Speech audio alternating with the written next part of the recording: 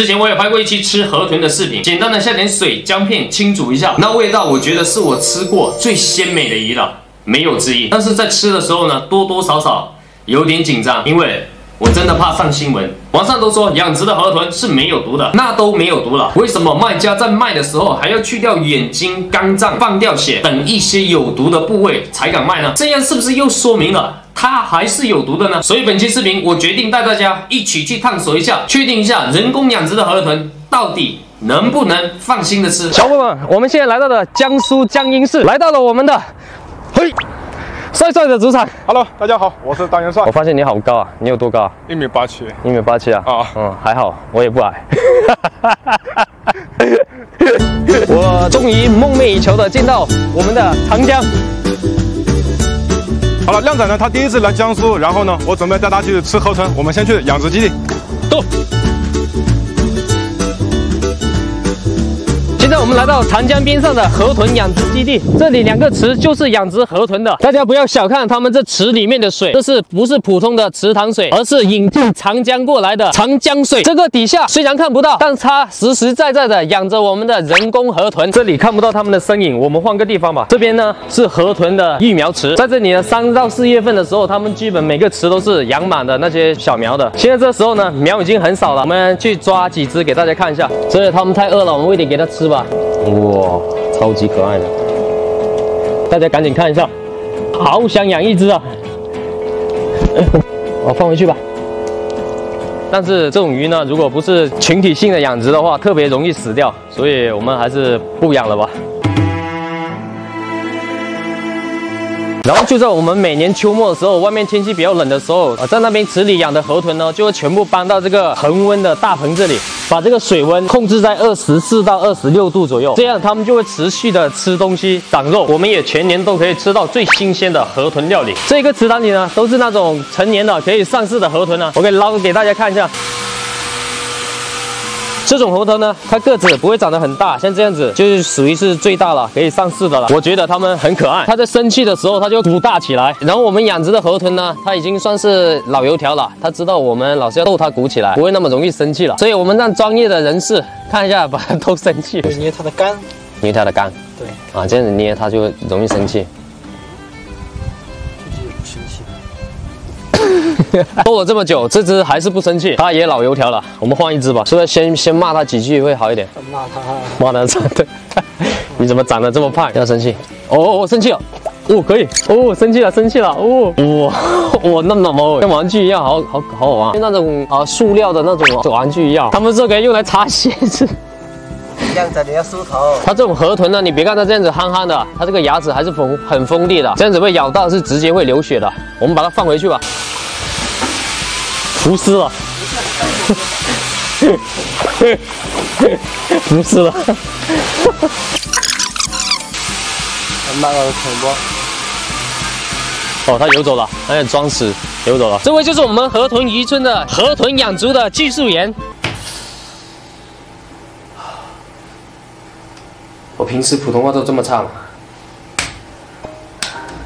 他叫小妙，大家好。那我们就直接问你，大家最关心的一个话题：我们人工养殖的河豚到底有没有毒？这个我们人工养殖的河豚是绝对没有毒的。为什么那些野生的它就毒性很强，轻轻一点毒就可以毒死一个人？呃，这个河豚毒素呢，它是一个外源性的毒素，就是说它得吃有毒的东西，它才有毒。它的毒素是用于繁殖的，只要不给它吃有毒的东西，它就是绝对没有毒的。它这样子不是繁繁殖不了？下一代就是现在人工繁殖有生长素啊，或者哦生直接注射生长素让它繁殖。那为什么其他长江的鱼它也会吃这些有毒的东西？那为什么它们就没有毒？那河豚它就可以毒性这么大？这个涉及到一个毒性的积累和毒性的转化的一个问题。河豚吃了有毒的东西之后，它会转化成河豚毒素，应该是叫 TTX，它用来专门就是储藏在自己的体内。但其他鱼它没有这种毒素转化的，哦，它直接就消化掉或者排掉了，就直接排掉了。那就是为什么市面上我们消费者能买到的，我既然是没毒的，那它为什么要去掉眼睛啊，去掉一些有毒的部位呢？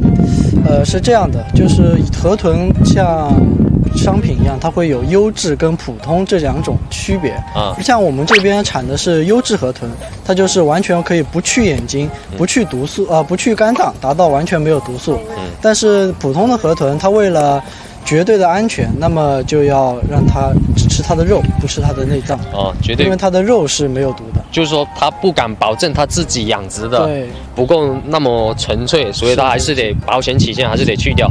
但是我们这边的优质河豚就是保证肝脏啊、内脏、眼睛都是没有毒，所以我们就都可以收纳。那你吃过就是整条随便处理一下的河豚，然后其他在我们眼里有毒的部位你都有吃过吗？吃过吃过，我们就这边饭店还有河豚的刺身，就河豚刺身，对，就整条就直接把只是杀掉了，然后直接这样子直接吃，是的，是的，一点事都没有。是的，没有问题。好吧，小伙伴们，真的是刷新我对河豚的印象了。我们的小妙说呢，养殖的河豚虽然说是没有毒了，但是为了安全起见，我们所有餐厅呢都是必须得专业的厨师进行宰杀。这样子宰好之后呢，还必须用水这样子给它足足冲上二十分钟。然后我们这个可以吃的鱼皮、肝，还有公河豚才有的鱼白，也要冲个二十分钟。但是这个肝还要额外再用高油再给它炸一下，这样我们就可以放心食用了。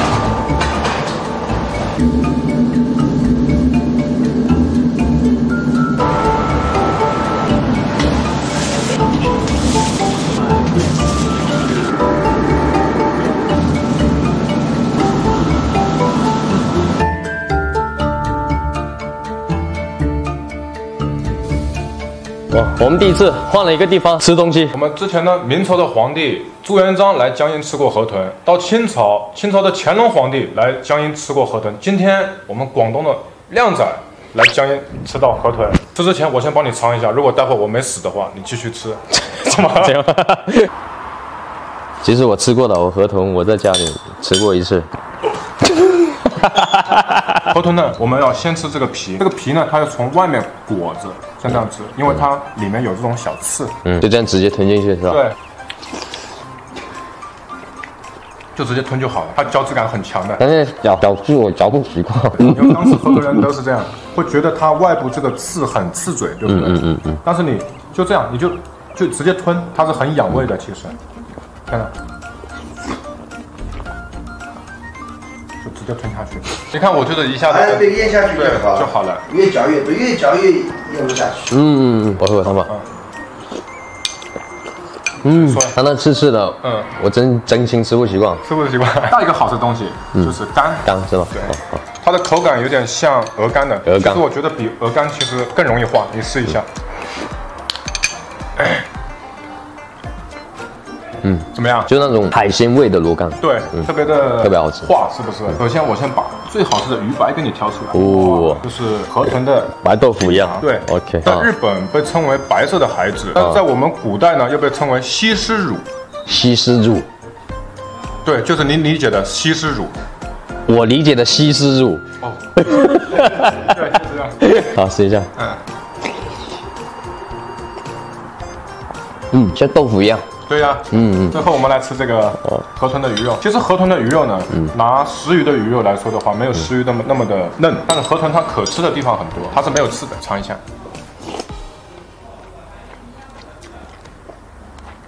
我吃过那么多的好吃的鱼，海里的鱼，嗯其实我觉得真的，如果说在我的排名里面的话，嗯河豚真的要排第一位。对它的鱼肉真的是超级鲜，对对对汤也是那么的鲜，所以我是带你吃河豚的。我那是第一次吃河豚的时候，也是被惊艳到了。哇，那个特别是那个汤，然后那个肉，真的是第一次吃的那种感觉，印象是最深的。所以我觉得小伙伴有机会绝对可以去试一下。其实那时候在我第一次吃河豚的时候嘛，我都有那种恐惧感，就是那种很紧张嘛。对但是经过我们从养殖到厨师到到我们餐桌上，我觉得真的是可以完全放心的吃了。因为从养殖的源头就已经开始杜绝这个毒了。对。好吧，那么非常感谢我们的帅帅对我本期全程的赞助与扶持。那今天本期视频就到这里了，我们下期见，下期再，拜拜拜拜。哦，结束了，结束了，结束了，呃呃哦，赶紧喝汤啊！这河豚确实太好吃了。作为长江下游最美味的长江三鲜，河豚、石鱼、刀鱼，由于大量的捕捞，野生的基本已经很难看到了，甚至其他什么鱼都很少了。所以国家从今年起实施了长江十年禁渔的大保护。我们去的这家养殖场呢，他们每年也会将养殖的河豚进行一个长江放流的活动。现在养殖的河豚呢，已经是非常美味，而且又很安全。野生的就让我们好好的爱护它们吧。记得给我点个赞，那我们下期见，拜拜。伙伴们，我们现在就在阳澄湖的中心，咬得 死死的。